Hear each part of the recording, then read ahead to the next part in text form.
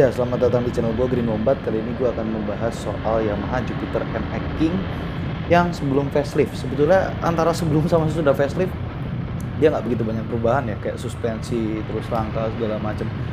Uh, semuanya sama ya gitu. Jadi nggak nggak begitu banyak perbedaan. Nah, jadi mungkin di sini bisa gambaran buat orang-orang yang pembeli new MX King atau old MX King secara bekas terserah uh, ini motornya punya teman gua namanya Ilham. Ya kemarin dia sempet ke sini. Uh, tadinya gue pengen pengen kasih point of view-nya dia tapi karena dia perlu jalan jauh lagi jadi uh, gua aja yang yang yang uh, ngelakuin gitu kan. Jadi nggak ada dia tapi ya well give credit where credit is due. So ya itulah gua gua bakal bakal bilang motornya siapa gitu kan. Karena kebetulan ada orangnya juga kemarin. Eh uh, apa ya yang mau gue bahas ya? Sebetulnya gue gak begitu banyak mau mengomentari sih. Mungkin uh, gue takut bias juga ya. Jadi perlu perlu for your information gue gue punya Yamaha Jupiter MX yang keluaran pertama gitu ya. Uh, jadi kalau gue sih di sini suka bias uh, sedikit bias atau gue memang ada sedikit soft spot untuk Yamaha Jupiter MX karena memang gue udah ditemenin sama MX gue uh, literally 10 years gitu. Jadi bener-bener 10 tahun gue udah sama MX gue gitu loh nggak tahu itu duit udah berapa buat ngerawat itu motor. Oke jadi uh, ini tes dilakuin sekitar jam satu malam ya. Jadi nggak usah khawatir soal apa soal apa gitu. Jam satu malam terus uh, gue bertiga kemarin ngelakuin tes gue Andri sama Ilham. Uh, Andri sama Ilham mereka yang tadi di awal yang mereka bawa IR6N uh, terus gue yang bawa Yamaha MX King-nya Oke, okay, pertama uh, gue mau mengomentari soal desain ya. Gue uh, ya balik lagi ya mungkin karena sedikit bias, uh, tapi memang uh, gue rasa desainnya Yamaha di tahun itu udah udah cukup baik gitu loh. Apalagi dengan kompetitornya yaitu Supra GTR. Gue nggak mengkonsiderasi Satria FU sebagai kompetitor karena itu jelas berbeda segmen. Menurut gue loh, menurut gue udah berbeda segmen. Apalagi dengan gue ada FU injeksi gitu ya. Uh, itu udah beda kelas banget lah gitu walaupun range harganya sama. Oke, okay, jadi uh, pertama soal desain gitu ya. Ya ini lu lihat ya gue gue coba cari top speed. top speednya nggak begitu tinggi sih. Jadi uh, sambil sambil ini aja. Uh, jadi gue uh, apa namanya soal desain gue gue rasa emang udah udah lumayan lah buat buat desain di tahun itu gitu kan. Uh, walaupun memang ada kerancuan yaitu di di velg ya velg depan sama belakangnya itu uh, dengan dengan dengan ukuran velg yang cukup jomplang uh, kebetulan yang gue pakai ini kemarin bannya udah dikecilin yang bagian belakang yang depannya standar gitu kan jadi nggak nggak terlalu ada perbedaan. Uh, so far sih se selama gue pakai first impresinya nyantai gitu ya motornya santai uh, tapi memang enak buat agresif dari segi ban segala macam gitu kan. Gue udah pernah coba making yang bannya lebar yang belakangnya udah lebar. Uh, selama teknik nikungnya itu bener nggak uh, nggak limbung juga sih motornya jadi santai-santai aja gitu kan. Nah, terus ya gitulah gitu. Terus untuk untuk untuk soal jarak jauh segala macam ya kita tahu semua kalau gearnya cuma 5 nggak kayak GTR yang gearnya 6 Uh, tapi gua rasa gear yang cuma 5 ini enak banget buat cruising gitu ya. Karena kayak tadi kelihatan gitu ya di menit-menit sebelumnya gua susah banget gitu naikin dari 4 ke gear 5 uh, gitu loh. Karena memang uh, lebih enaknya dia masuk main di gear uh, gear 4 gitu ya. Terus gear 5 itu cuma buat cruising santai gitu ya. Ya overdrive lah istilahnya gitu loh. Jadi uh, apa ya ya gue rasa gitu-gitu aja sih. Soal soal fuel consumption juga ya sebetulnya nggak boros juga sih. Sebetulnya irit sih gitu. Bisa dibilang masih seliter 35 40-an gitu ya. Tergantung lu tinggal di mana. Kalau dalam kota di di daerah-daerah yang macet banyak macet stop and go ya mungkin masih dapetnya di 35 gitu kan 40 gitu. Tapi begitu lu masuk luar kota dia dia masuk fuel consumption yang cukup irit gitu ya. Seliter 50-an gitu loh. Jadi uh, fuel consumptionnya irit gitu ya. Cuma memang uh, motor ini uh, balik lagi ya segmennya dia bebek sport. Uh, gue sebetulnya nggak begitu fans terhadap bebek sport walaupun gue ada MX dia nggak ada bagasi gitu loh. Jadi kayak kemarin temen gue ke rumah juga ya dia pakai keranjang gitu ya di di video nggak begitu kelihatan gitu ya ada keranjang tapi kalau misalnya pas gue nengok ke bawah kayak tadi itu sebenarnya sempat sedikit kelihatan ada keranjangnya gitu loh. Jadi ada keranjang ada segala macam gitu loh yang kayak gitu-gitu buat buat penambah motor ini untuk jarak jauhnya seperti apa gitu loh. Uh, terus untuk akselerasi 0 sampai 100 gue nggak kemarin nggak sempet coba ya gitu karena memang keadaan gitu kan. Gue bingung mau ngetes di mana. Uh, ditambah lagi Kawasaki R6 nya berisik banget nggak tahu itu siapa yang punya itu emang ngomelin aja udah gitu. Jadi gua nggak nggak sempet start tembak gitu kan tapi so far sih bawa motor ini untuk berakselerasi kayak di lari 80 90 itu masih masih lumayan lah gitu ya.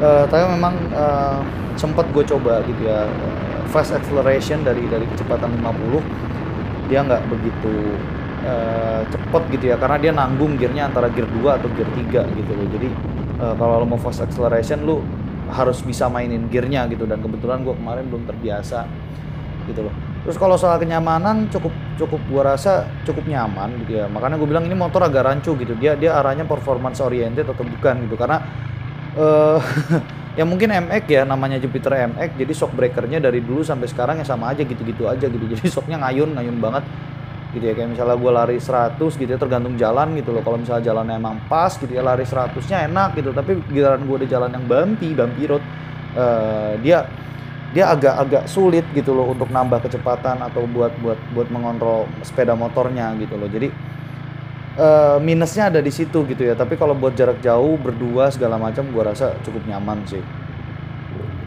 Uh, terus uh, apalagi ya gue rasa kalau buat dibandingin sama Honda Supra GTR uh, gue nggak tahu ya tapi memang gue udah beberapa kali coba Supra GTR gitu ya. Untuk performa memang nggak begitu jauh gue akuin memang Supra GTR dia sedikit di atasnya Yamaha MX King gitu ya. Jadi mungkin untuk drag atau sirkuit gitu ya mungkin bisa dibilang uh, mungkin ya Supra Supra masih lebih superior untuk, untuk kondisi sama-sama standar gitu.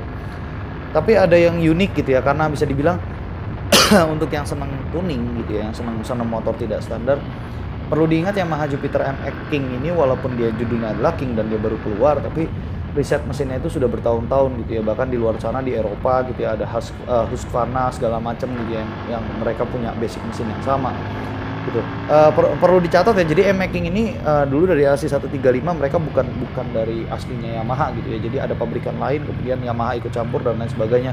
Sejarahnya terlalu panjang kalau gue mau jelasin sejarahnya gitu. Jadi jangan heran kalau mesin ini ketemu di mesin-mesin Eropa. Uh, maksudnya uh, keuntungannya adalah karena karena Eh, umur ya umur umur basic mesinnya itu tinggi jadi spare part spare part aftermarketnya itu cukup banyak gitu loh bahkan kalau kita mau cari spare part originalnya gitu ya kayak ukuran 54 pistonnya 52 atau 5, uh, 57 gitu. itu kita bisa ketemu produk-produk seperti Athena, Wosner dan ya nggak cuma piston sih tapi kayak uh, uh, CDI atau electronic control unit gitu terus ada coil pengembangannya gitu kan. Bahkan dari dari konstruk crankcase sendiri dia bisa menggunakan 6 gear kalau misalnya emang lu mau gitu ya punya Yamaha R15 dan sebagainya gitu kan. Jadi memang pengembangannya cukup banyak gitu ya. Bahkan di negara lain uh, itu banyak yang pakai block silinder 155 dan lain sebagainya. Jadi ya ini tadi gue coba uh, eh, gue gue coba berakselerasi ya. Jadi kelihatan ya gitu ya akselerasinya memang tidak begitu ekstrim tapi ya balik lagi nih motor motor bebek gitu loh bukan bukan motor buat balap gitu loh. Uh, nah ini jalannya bumpy ya tadi tadi jalannya bumpy gitu kelihatan gua gue susah banget naikin dari gear 4 ke gear 5 gitu loh.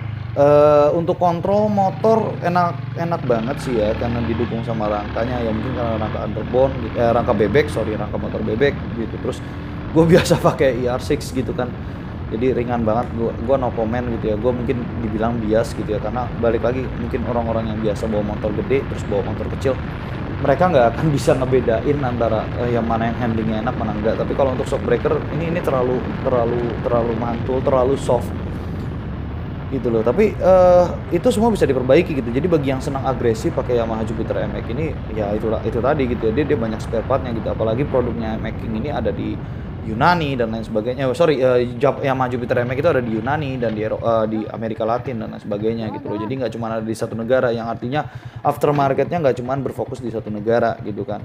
Jadi uh, untuk yang senang modifikasi, uh, gue jelas lebih merekomendasi Yamaha MX King gitu kan. Uh, terus mungkin ya yang perlu dicatat adalah uh, untuk untuk calon pengguna MX King jangan terlalu mengharapkan karakternya sama dengan Yamaha Jupiter MX sebelumnya gitu ya, yang 135 entah yang yang 5 gigi atau yang 4 gigi karena karakternya M King ini fiction banget gitu loh mesinnya gitu ya. Mungkin karena memang uh, silinder dan dan pistonnya memang sama dengan fiction gitu kan. Terus mappingnya juga lebih ke arah fiction makanya tenaganya cuma 14 sekian horsepower. Ya, atau digenapin lah 15 15 dk deh gitu.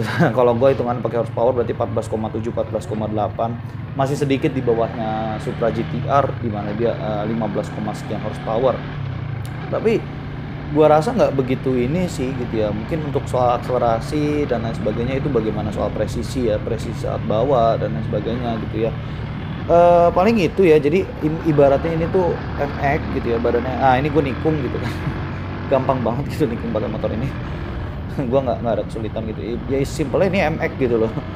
Tapi tapi mesinnya fiction gitu loh. Fiction yang lawas gitu atau ya fiction yang lawas lah bukan fiction. Ya fiction yang baru ya sama aja sih asal bukan fiction yang 155 yang type R gitu loh. Jadi uh, paling itu ya jadi ke kelebihannya ya desain gue suka gitu ya nilainya mungkin 7 dari 10 gitu performa not really gitu karena gue ngerasa dia bisa gitu loh lebih lebih dari apa namanya lebih dari ini. Kalau misalnya emang Yamaha mau itu sebenarnya bisa gitu loh uh, tapi ya nggak tahu kenapa nggak dilakuin gitu ya. Mungkin karena memang untuk untuk untuk ya karena fuel di Indonesia karena bensin di Indonesia nggak terlalu bagus gitu ya. Jadi dia agak sedikit direndahin tekanan dalam chambernya dan juga rasio kompresinya.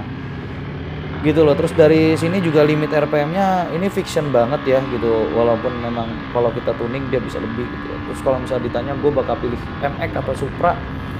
Uh, eh, gue secara personal jelas pilih pilih MX ya uh, bukan karena apa tapi secara konstruksi mesin segala macam apalagi kita tahu Supra GTR itu ada permasalahan di cylinder head gitu terus di rantai ketang gitu kan.